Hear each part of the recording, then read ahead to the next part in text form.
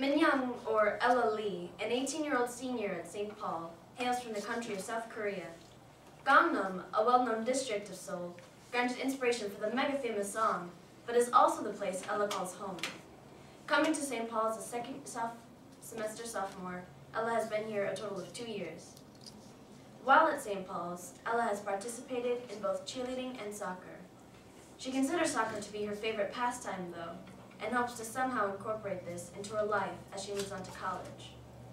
Her preferred class here is biology, and in the future, she hopes to major in chemistry.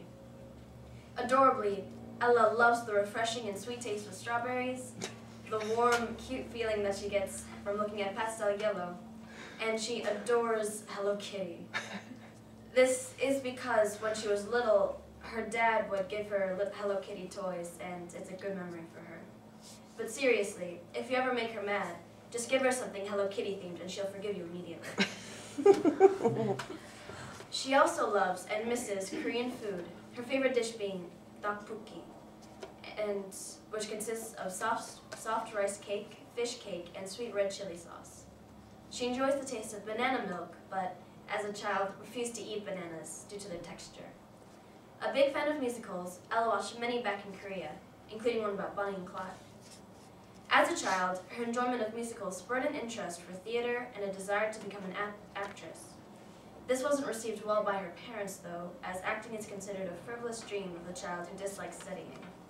In Korea, a child's life consists mostly of studying, as students devote around 13 hours a day to school and school-related activities.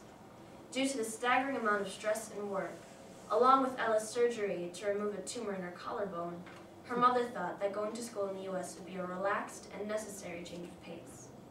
Coming here, she found that the presence of different nationalities, the religiousness, and the school's history had made a lasting impression on her. The presence of boys has also made quite the impression, as she attended an all-girls middle school and high school before St. Paul's. Min Young Lee, full of Gangnam style, is one of the proud international students here at St. Paul and will be sorely missed when she graduates. Thank you very much. Let's give her a round of applause. Thank you so much, Emma.